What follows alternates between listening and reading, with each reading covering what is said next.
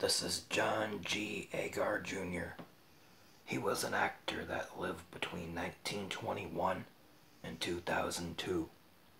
You may have seen him in Sands of Iwo Jima, Fort Apache, Tarantula, Hand of Death, and She Wore a Yellow Ribbon.